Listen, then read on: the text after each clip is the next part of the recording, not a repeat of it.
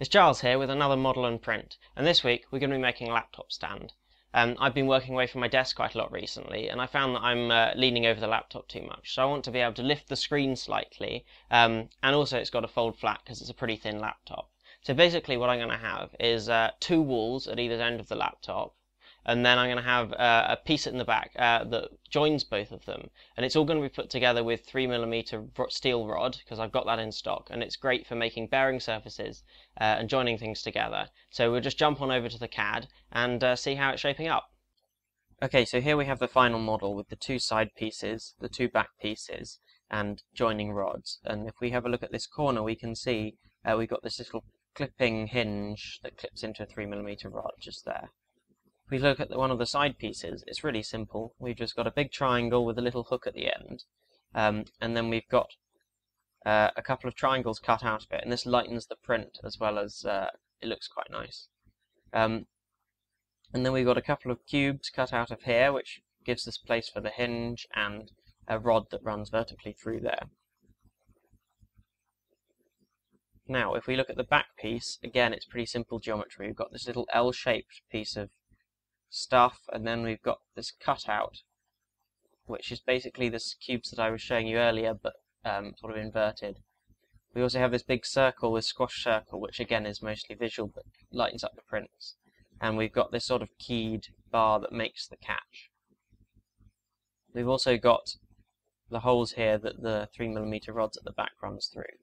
And if we put this all together with one of these just flipped this way, and the two side pieces, we get our final model. So let's just jump over to the slicer and see what we can do. Okay, so I've just cut the uh, side piece into two parts with a stepped cube, which gives us this uh, overlap lap joint. Uh, and then I've imported it into the slicer, scaled it a thousand times, and as you can see, it's pretty much ready to print. Now, what I'm also going to do is just put in a modifier for this piece uh, that allows me to have a little bit of a higher density at the tip where this catches because I found it's sometimes a little fragile. So I'm just going to change the infill density here to 80% and go to the main part and make the infill density just 30%. And this means you get a nice higher density part in the middle. Now we can just see it's just going to slice and then when we go to preview what we should see hopefully, is you can see a little step here where the modifier is. And if we scan halfway down, you can see the density of the slicing is much higher just here. And this means we're going to get a stronger part around that area. Okay, so this looks good. I've got my layer height set to 0.3 millimeter, which should be good. Honeycomb infill. Um, we're going to put a brim on this just to keep it stuck down. Uh, it's slightly out of the print area, so I might just have to um, make that brim a bit smaller, but I'll do that later. And then I'm going to export it, and then we'll have a look at the print. Okay, so same thing again with the back pieces, but this time, instead of having a modifier, we actually want a thinner layer height for this catch, because I think 0.3 millimeters is a bit coarse for such a fine feature.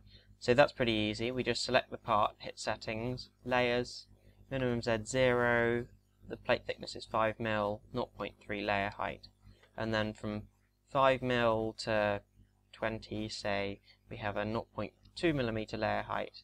Hit OK. It'll reslice everything, and then we should be able to see just a slight change in the layer heights as we go up. There we go. And so hopefully this will make a slightly stronger and more detailed part for the catches. Okay, so I'll just print both of these parts and show a time lapse of just one of them.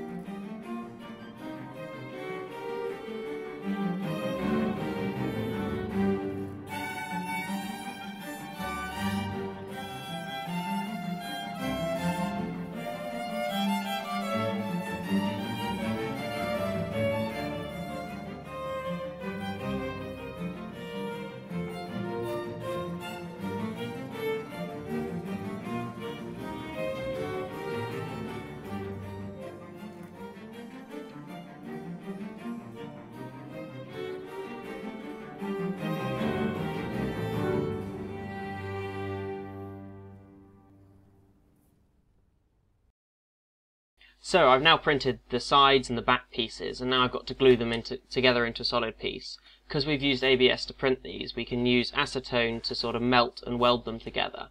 So I'm putting a liberal amount on each side, and this will cause a sort of slurry in between them. And we want a lot of slurry because this means we get a more or less solid joint, and we get a piece that's almost as strong as a single piece.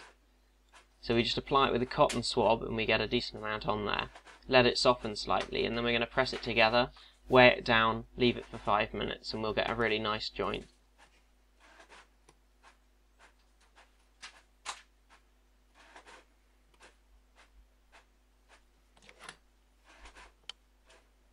While that's setting up, we're just going to tackle the back piece. So we're going to cut the 3mm rod to length, cut it off with a hacksaw,